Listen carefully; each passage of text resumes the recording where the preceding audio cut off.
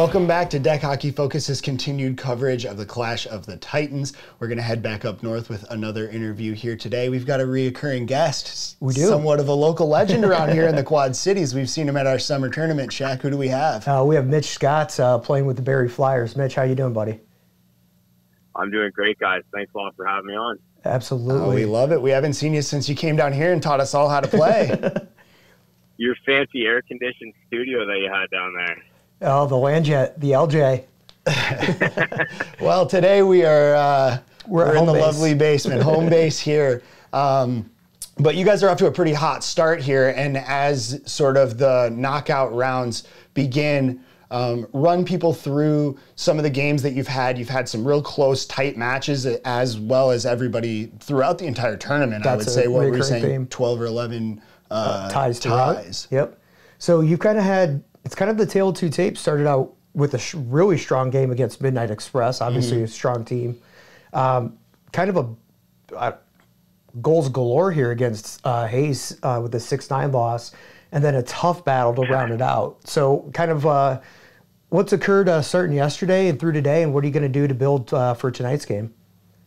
Yeah, it, you know, it's it's funny. We have such a good team, but there's just I don't know. We have like it's almost like two completely different teams at different points in time. Um, it's uh, this is my second time playing with the Barrie Flyers. I was with them down in Pittsburgh, but uh, still they're getting used to some of these guys.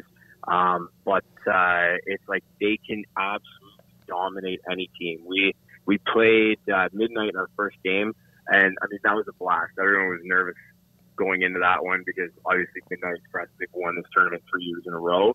Um, Sure. They were going to have a really strong roster. So when uh, when we basically game planned to have like a defense first mentality against them, and, and it worked. I mean, we got out, uh, we got the first goal against them, and uh, we just battled with them hard. We played awesome in the first, terrible in the second, and that got them back into the game. They scored two to tie it up. And then uh, it was just back and forth in the third, and, and we played unbelievable and just shut the door, and we were to muster a tie. And you know, we'll take that against midnight any day of the week, just because they're so strong. And then um, this morning, everyone thought that Hamilton Hayes was going to be kind of like a walk through game, just because they were kind of thrown together last minute. But uh, man, they somehow picked up a bunch of guys from Montreal who play for Red Light, Montreal GK, and Team Canada three on three and they're unbelievable. They're just such a skilled, fast team. They got up early in the first on us. I think it was four nothing. We ended up coming back and making it five four, and uh, they got um, they got a couple power play goals on us, and that just kind of deflated everything. And and the guys were, you know, the ref was in our heads, and and everyone was kind of losing their heads a little bit. But uh, um, you know, we'll put that game behind us, and then we came out absolutely flying against North York. They might have had ten shots against us all game, and and we controlled the play for for a good portion of um, of that game. So we have Orange Toronto Orangemen at uh, nine fifteen, and you know I think everyone's pretty pretty pumped up for that. We saw what we can do playing against a team of similar caliber like North York today. So it's gonna be it's gonna be a great battle tonight, and, and hopefully we can win and take it into tomorrow. Yeah, definitely. I mean, the Orangemen, you're going to have to ramp up for that game because they're playing really, uh, really well right now too. Absolutely. With a, a tight, two tight games, one win, one loss. They're a great defensive team. They're a great defensive team. They're a defense first team, and whenever you play those guys, doesn't matter how how few goals they score during the tournament. They're you know they're just going to try to control everything to in the middle and, and make us play on the outside. So. Well, definitely. Uh, that's that's a game we'll definitely be watching. Uh, while we're talking about that, do want to give a huge shout out to Terry Milby for her Facebook stream. It's been absolutely amazing. It's keeping us connected. So thank you, Terry. But but speaking of this upcoming game, I mean, is there a different mentality that you take into it uh, when you're playing a team like the Orangemen? I mean, we've seen them, um, you know, up against the gods, going to the wire, uh, as well as the Godfathers, which coming out with a win against yeah, the and coming out with a win against them, and those are two teams that obviously you know compete regularly for championships and things. So have you guys had a chance to maybe uh, survey the scene a little bit and kind of see uh, how you want to approach the game and attack them? Yeah, you know what? We haven't really seen too much of the Orangemen, and they've been a team that uh, you know, they more play like league tournaments.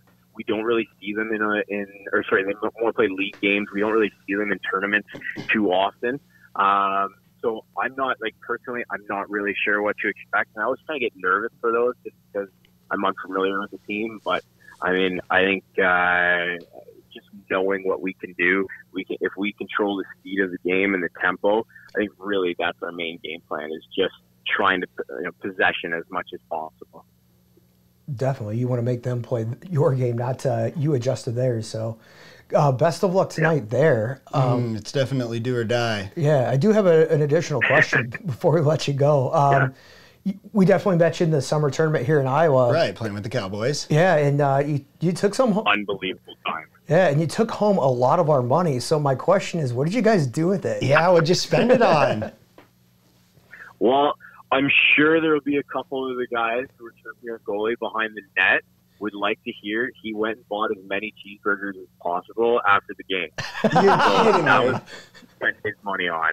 No, I'm kidding. He didn't actually. he was getting an earful during the game from the guys. Hey, how many cheeseburgers can you eat? and he said, "You know how many cheeseburgers five thousand American will buy me in Canada?" so, That's awesome. But uh, I mean, for, for me, I, I I don't even remember what I did with the money. I was probably spent on something ridiculous, but uh, it was just it was really nice to have. It was, it was it made the whole trip completely worth it. And uh, I mean, even if we didn't win the money, man, it was so it was so worth it. And for any teams listening who are even pondering coming, just go. Make the 12 hour drive to Iowa. It's completely worth it. It's better than any tournament that we have in Canada.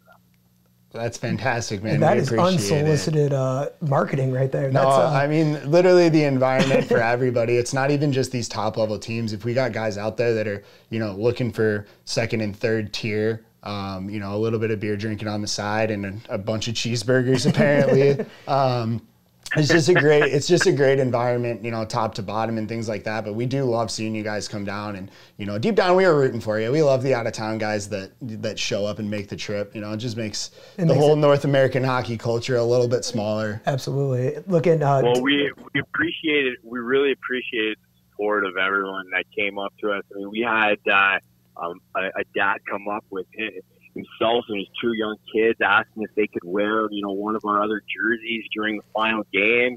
And, you know, we're really rooting for you. And I mean, that that felt incredible because we, we've never been down to, to Bettendorf, um, you know, Iowa before, and, and you know they don't they don't know us at all. We don't know them, so it just made us feel completely welcome. And um, I mean, it was it was it was an absolutely incredible experience having people cheer for us um, over the decade. But it, it was it was fantastic.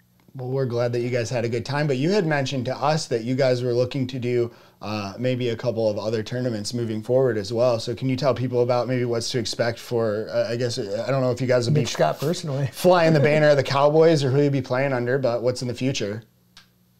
Yeah, well, um, I mean the Cowboys we we really enjoy the three on three and four on four game. It's it's more the style that, that we would like to play moving forward. And we have a big WBHF tournament, like we were saying last time I was on. We play, most of us play for Team Great Britain, um, the heritage team in the WBHF, and we're going to Finland in uh, in November of 2020. So we'd like to get in as many uh, three or four on four can. We just came back from Turks and Caicos, played an awesome four on four event down there. Um, what a place to, to play ball hockey, I'll tell you.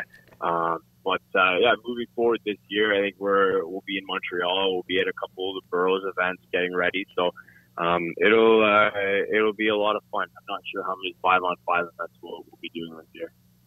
Well, good. We'll focus on the five on five uh, now because it's uh, you got a big game coming up here, and it's getting down to the wire. So you know we're, we're you got the whole state of Iowa behind you right now. I'll speak for everybody in the Quad Cities.